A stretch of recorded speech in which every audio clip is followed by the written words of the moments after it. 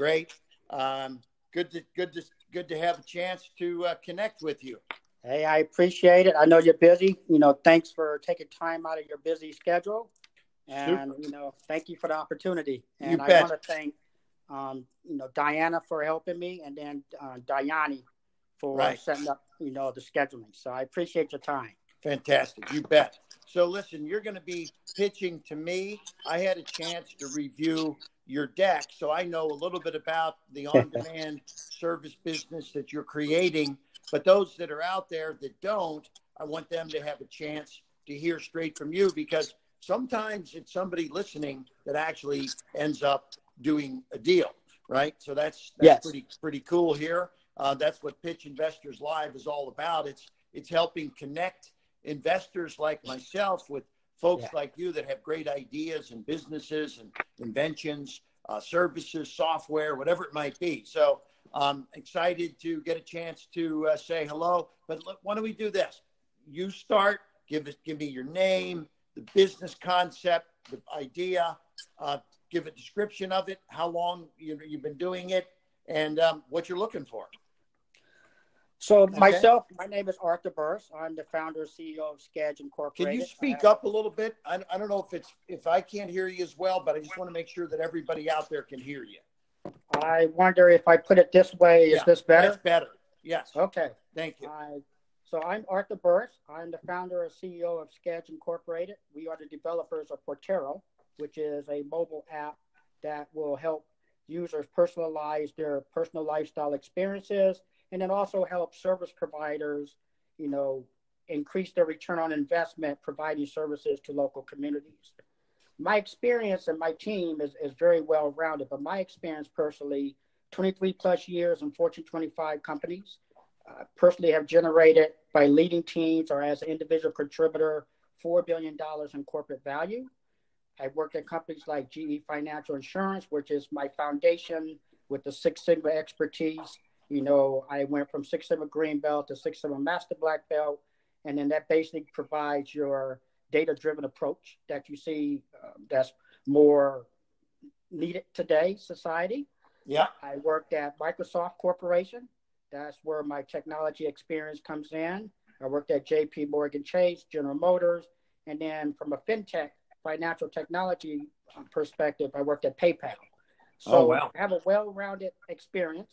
Got a lot of great corporate background. That's fantastic. Okay. Yeah, and now it's time to transfer that experience and knowledge to help you know the local service providers globally, and then also um, one of our perspectives from our team is to make a societal impact. So the key, uh, what we're looking for from our team, you know, we all have a foundation of making a societal impact by applying our individual skills and expertise. Yeah, Gotcha. So, in regards to the business concept, Porteiro came about. Porteiro is a marketplace. So, as you know, it's an online and on demand services marketplace. And from an educational perspective, if you think about Uber, right, if you could hit Uber to obtain a ride at any time that you need it, why can't you request on demand personal services, service providers when you need it? So, for example, you have busy parents on weekends. You know, they're taking their kids to different events, um, which pretty much takes up their whole weekend. They don't have time to go to the hairdresser. They don't have time to take their laundry to be dry cleaned. They don't have time to wash the car, pick up groceries. So right. how do we bring those service providers to provide those services to them at a time that's convenient for our consumers at a location of their choice? Exactly. So, uh, so now let, let me ask you: Have you built this app? Is this a mobile app or a website or both? It is a mobile app. We are doing 100% mobile, and we're planning on launching July. We are on target to launch in July for iOS and the App Store. And we have a lot of rich features. I mean, the capabilities that we plan on delivering our initial release, we've spent four years understanding the market, and with our collective expertise of the team, we feel that we have a product, and we've had people reviewed it. We have a product that's going to be optimal for both users from a consumer perspective and also for our service providers because of the capabilities that are within the app. Yeah. So what what are some of the other apps? I mean, we I've used some some of these other apps that connect you with service providers. Um, um, what what are what are some of those other ones called? Um, uh, just my mind's losing uh, uh, track of some, but I've used some of these, uh, like you know. Um, oh, do you, do you know some of the names? Yeah. So some of the leaders in the industry right now, um, a lot of them focus on home and garden. So, for example, your HomeAdvisor, which you know purchased Angie's List in 2017, is when that deal finalized, right? So home advisors worth like $5 billion, right? It's a $10 billion industry right now. So home advisors is one of the leaders. Uh, your secondary leader is TaskRabbit, right? And they're worth about $1 billion. They focus more on little tasks within the home and maybe outside the home. Yeah, TaskRabbit was the one I was trying yeah. to think of. So on TaskRabbit, they can hook you up. Didn't didn't um, uh, IKEA buy Task exactly. Rabbit? IKEA bought TaskRabbit, and that tells you the value of the marketplaces, right? Because now you're looking at the services and the key um, value that service providers bring to the community. So the, the problem is the service providers are not obtaining as much return on investment as they should obtain. And that's where we're going to have for a competitive advantage. And then another marketplace leader is Thumbtack. Thumbtack is worth about a billion and a half dollars they're probably our most com- closest competitor uh, because they have a wide range of services that we plan on offering.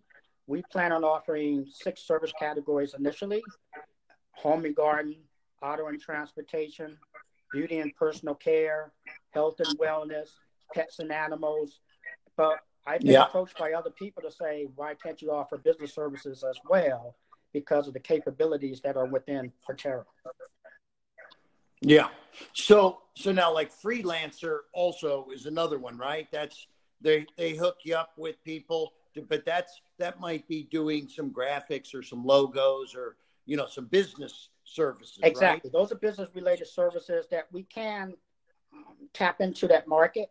And based on my you know professional experience working at specifically at Microsoft and PayPal, as you know, Business alliances and strategic partnerships are the key to accelerating your growth. So we will be looking for opportunities, partnering with you on this ask, but then partnering with some of these freelancers and other marketplaces to help, you know, make it optimal for our users.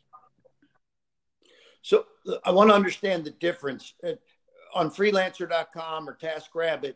They give you information on somebody, but then you connect with them over the internet and work your details. Whereas, are you saying your business is more like Uber, where you connect somebody and they actually through the app show up at your house, or uh, walk me through the. So difference. the difference is, and, and our competitors, they're mostly lead generators, right? So if you're requesting a landscaper, for example, you put in a request for a landscaper. The marketplace um, industries what they do is they'll send out those quotes to local service providers. They can send out to, you know, 10, 20 or more. They charge them a fee for the quote. There's no guarantee that the service providers will obtain your business, right? Because you still have to vet them. But the marketplaces, right. they obtain their fee that way. But as a service provider, you don't really have a return on investment because you've already paid for a quote you may not receive service for. So our aspect is building a platform, and that's just a they're not processing end to end. So that's just generate a lead. You deal with the service providers outside the app. You transact out of the app, and that's your experience. That's what experience separates. What we're doing is building a platform that has an end-to-end experience where we're personalizing your request, your lifestyle, we're managing all the transactions in the app. We're partnering with Braintree right now as our payment processing provider.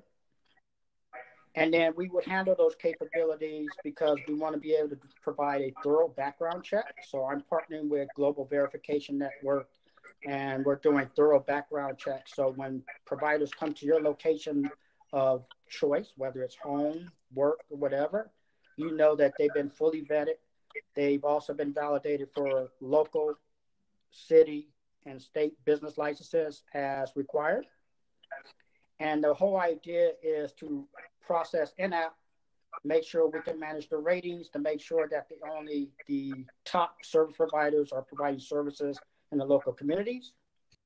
And then we also, our competitive advantage is we're paying all the payment processing fees for our service providers by us taking on this process in-app. This way we can manage that. We personalize services for Kevin. You don't have to spend a lot of time searching for a request, ad hoc. We want to be able to personalize your whole lifestyle and you don't have to worry about it anymore about scheduling and driving around and taking care of these activities. Gotcha. So, so now, so you hook them up directly with the folks. Do they do they charge it within app also? Is that is do the services get paid for in in the yes, app? So payments are processed in app, and that's where we have that end to end experience. This way, I you know I went to dinner with a couple last night. They're pest control owners, and um, you know they were saying that they only receive about forty five percent of the fees that they charge.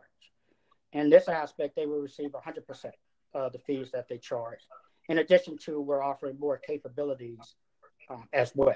So, and and then what what is your you get paid? So they get a hundred percent. How do how do you make money? So it's then? a two sided model. So there's a subscription based model for service providers that is about sixty five percent less than the competitors. Our model from a revenue generation is there's a consumer fee that we charge five percent consumer as a cap at ten dollars. So basically, any service that's over two hundred dollars, you won't pay more than ten dollars for that service. But the key is, as you know, time is valuable, right? In the past hour, you're not going to get that hour back. So that time can be valuable if you're spending unproductive time doing something. You don't you don't get that time back. So we want to be able to get time back to our users so they can spend it more with their loved ones, uh, pets, animals, uh, reading, you know, things that they would like to do. Yeah. We want to give more time back to their life. We want to make it easier for them, simplify. Gotcha. So, so let me ask you a question. Do, do you, uh, uh, uh, charging the consumer 5% or 10 bucks, is, is that only if they use the service or do they pay that just to, just to go on and access? So the consumer fee is a service fee per transaction. Um, you know, the cap Okay. is ten dollars, but again, time is valuable, so it's based on um, how the consumer values their time. And the five percent is actually pretty low because when we surveyed probably up to hundred people, they were willing to pay ten to thirty percent because of the convenience factor, because of incorporating their whole entire lifestyle across those six categories. As you know, time is very valuable, right? So we feel that five percent is effective and efficient, and the market share we're going for is about two point four percent, and we we think we can grab that market share. So, so do you? uh, I have. I'm just. I'm asking Yeah. some questions as a devil's Yeah, yeah. advocate. As a consumer, when I think I'm going to come through you and pay you five percent on top of their fee, it makes me think. Well, if I went direct to the company, I'm saving five percent. Right. It just it's get it's putting a negative in my mind of like I'm paying more to use your Right. service because I could just go direct and book it and not pay the 5%. Why not make the provider who's getting the business pay the 5%? Because it's a cost of doing business for him. He's getting a new client. It the client, I, I, I have a concern that the client is going to mean if, if I went to Amazon to buy something and they said, look, we're going to hook you up with these product people, but you know, you got to pay us 5% on top of what you pay them. I don't know that their their business model would be as successful. Um, I'm just giving you some thought, you know, just to, to think about because a, a service that is designed out in the marketplace to say use us and pay more is is is to me a negative situation that can give others the um I, I, I just it's food for thought. I want I don't. How did you come up with the five percent model that you know, w- w- have you run this by any kind of focus groups or where, how did you develop this so far?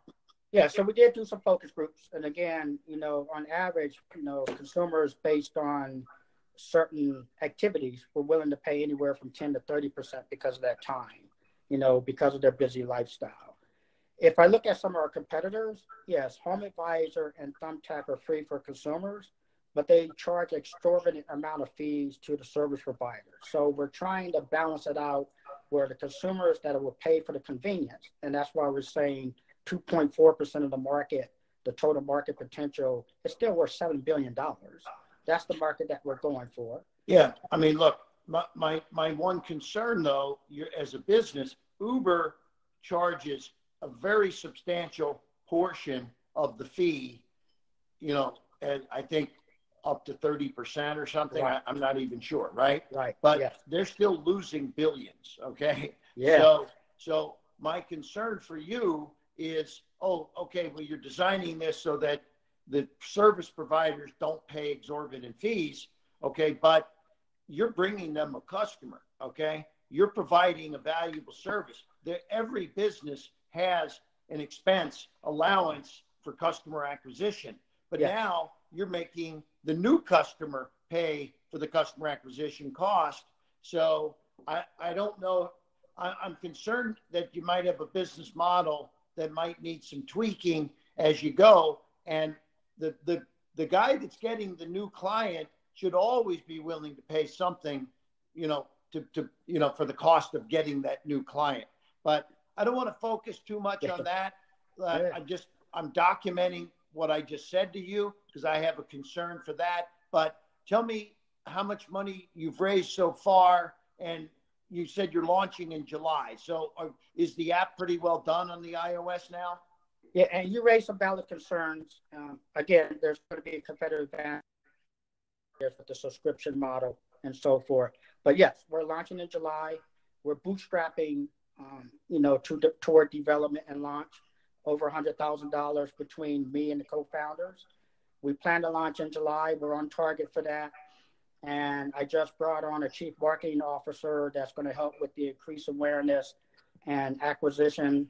Um, Stephanie Harris Byers, she was an executive for Harpo Productions. So she's going to help me from a marketing perspective. And I think that was a big win for us from a marketing team perspective. Great, good. So you have I, I saw your um, um, your sort your business plan deck, um, which was Yes. well done. So I think I think you're moving in the right direction here. Uh, how much capital are you looking for at this point? So the capital we're looking for for pre-seed because we're pre-valuation, right? And that's kind of hard to determine. You know, I modeled it pretty uh, conservatively, but we're looking for 1.25 million in investment, and uh, a part of that is going to be building our business intelligence platform. We just submitted yesterday for five provisional patents to on the capabilities that we plan on launching. So we have some provisional patents to increase our intellectual property. But yeah, we're looking at 1.25 million dollar ask, and I would love to partner with you, Kevin. Um, so on this venture, Okay, and that's basically what we're looking for as a partner. I got you. Okay, so listen, um, I think are you launching in one market in particular? Are you launching nationwide, or what's what's your marketing plan? And do you have a budget for your marketing launch? Yeah. So our initial markets that we're launching for are in the states of Arizona and California. Okay. And next year we'll New York and Texas. It's a strategic approach to do a phased approach by looking at specific markets because, as you know, dynamics are different based on zip codes, locale, cities, regions. So we want to really understand all of the data driven details as we prepare to launch in other states by 2021. So we have enough rich data to say, you know, this is what we can expect from marketing activities in the metropolitan area or urban area or, you know, areas, you know, as we start looking at different segmentation factors. Gotcha. Super. Okay, so do you have a marketing budget yet for your launch in July?